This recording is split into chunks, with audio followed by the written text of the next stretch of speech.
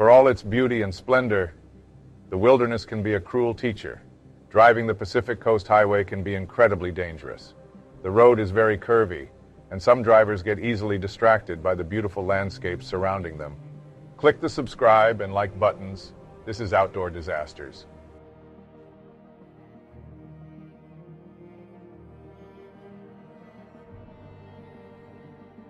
The Pacific Coast Highway, or California State Route 1, is a state highway that runs north-south along the coastline.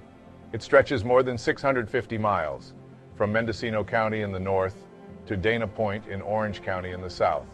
It is a beautiful highway, offering incredible scenic views of the Pacific Ocean.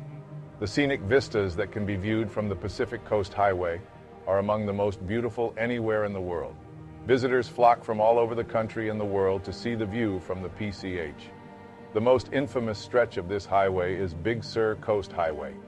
This twisting, cliff-hugging coastal scenic drive runs from Monterey to San Luis Obispo, with cliffs plunging hundreds of feet down to rocky coves churning with foamy surf. It's no wonder that many people consider Big Sur the most dramatic stretch of coastline anywhere in the world. For Angela Hernandez, she would experience an ordeal of nightmares. On July 5, 2018, 23-year-old Angela started the 16-hour drive from Portland, Oregon to Lancaster, California. She was driving alone and headed down to visit with her older sister. While many drivers would take the much quicker I-5 route through California, Angela took the much more scenic PCH. Her drive was going to be a beautiful one, down PCH with views of the coastline. Angela was close to her family and kept in touch regularly. About 10 hours after she left home, Angela decided to pull off for the night and find a place to park and get some sleep. She parked her Jeep Patriot behind a Safeway grocery store near Half Moon Bay, California, and texted her sister to let her know where she was, and that was she going to get some sleep before continuing her journey the next day. The next morning, Angela woke up, drove to a gas station in Carmel to fill up, and headed on her way to her sister's. The weather was perfect headed down one of the most picturesque drives around. All seemed right with the world. Angela would never make it there. By nightfall, when Angela didn't arrive at the time she indicated, her family attempted to reach her in any way they can, calling, texting, and trying social media, but they are still met with silence. That night, when they still couldn't reach Angela and she didn't show up in Lancaster as planned, they reported her missing. Authorities searched up and down the PCH with no sightings.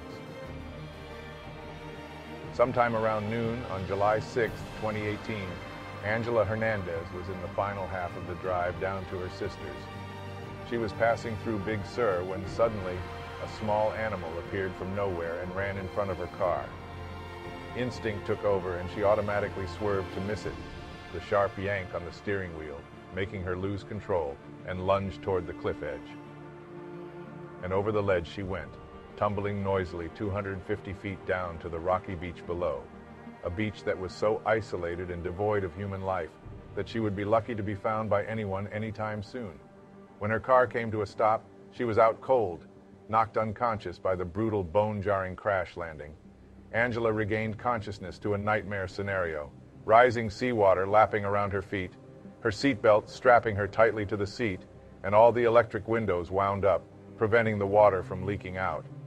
She was in excruciating pain and was losing air from her lungs.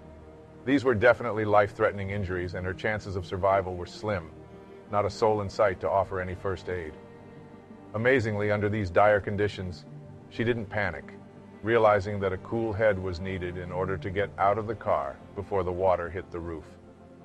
Searching under the surface of the water, which was now above her knees, she located the multi-tool kept under the chair and broke the driver's side window. Somehow, she managed to drag herself out and swim painfully towards the beach, just in time before she passed out. This was just the start of her nightmare. Her first sight upon waking up, battered, shoeless, clothes and skin ripped and torn, was the sheer, unscalable cliffs surrounding the beach. She could see cars passing by on the road overhead, yet her yells for help went unheard. She was trapped on a desolate beach that few, if any, people visited, and no way to call for help. The next few days became a blur for Angela. She'd walk up and down the beach in search of another human being. climb on rocks to avoid the sharp sand, walk along the shore to avoid the hot rocks, and gather tiny crabs for food. She found a high spot she was able to climb and found herself there almost every day. She could see cars driving across the cliff and felt like if she could yell just loud enough, one would hear or see her. She'd stay there until the sun became unbearable and then find a way to slide back down to the shore.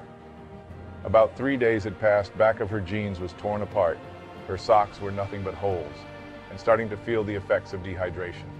She returned to the mangled Jeep and started looking around for anything she could use. She found a 10-inch black hose that broke off during the crash. She walked farther south down the beach when she heard a dripping sound. As she looked up, she saw a huge patch of moss.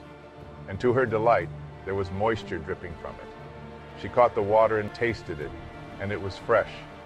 Using the hose, she drank the water, and this became her lifeline for the duration of the ordeal. Every day her routine would be to walk up and down the beach, looking for new high grounds, screaming help at the top of her lungs, and collecting water falling from the top of the cliffs. Every night she'd find the highest point she could climb up and find somewhere to fall asleep before the tide would rise. Every morning she would wake up soaked in sea mist and watch the sunrise. As the days passed, it would be a lie to say that things got easier, just more predictable. Songs she heard in years would play on repeat inside her head. She would daydream of foods to eat once found and imagine the face of the person who would eventually find her. One morning on the beach was an especially good one. She woke up in the middle of the night because of shoulder pain, but looked up and noticed the Big Dipper in the sky.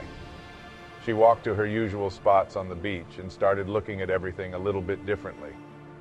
She had a good feeling about this day. She fell asleep between some big rocks. The day was warm and she woke up before the sun had gone down. When she sat up, she saw a woman walking across the shore. She thought it was a dream, but it wasn't. This was Chelsea Moore and her husband, Chad Moore, who were walking along the beach off the Big Sur coast when they spotted a piece of the wrecked SUV. We saw a bumper first and we were like, hmm, there's a bumper, Chelsea Moore said. That's weird. And then came around another bend and saw the car. The Moores began picking scattered debris from the car, including its license plate, to turn over to the police.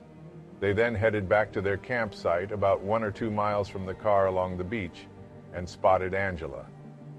We turned around and Angela was right there in the rocks. Just looked like hell, Chad Moore said. She was happy at the same time. She was really happy to see us. The couple gave Hernandez food and blankets until emergency responders arrived. Chad stayed with Angela while Chelsea ran back to the campground to call for help. Angela was severely injured. When Chelsea arrived back at the campground, she immediately saw a missing flyer poster and realized the girl they found had been stuck there for a week. First responders had to rappel down to Angela. When they arrived, they treated her for her immediate injuries. A California Highway Patrol helicopter was used to airlift her in a special stretcher out of the area and to Twin Cities Community Hospital in Templeton, California. It was then that Angela learned the extent of her injuries. Hernandez would later learn from doctors that she was suffering from a brain hemorrhage during the first few days after the crash. She also had four broken ribs, fractures in both of her collarbones, a collapsed lung, ruptured blood vessels in her eyes, and extreme sunburn on her hands, feet, and face. Angela shortly after would write about her ordeal. She stated, But at the end of the day, none of that matters. I feel like I have everything I've ever wanted, I'm sitting here in the hospital laughing with my sister until she makes broken bones hurt. I've met some of the most beautiful human beings that I think I'll ever meet in my entire life. I've experienced something so unique and terrifying.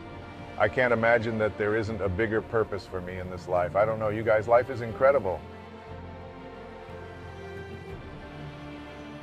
When faced with an emergency survival situation, try not to panic. Panicking affects your ability to think critically and exercise good judgment.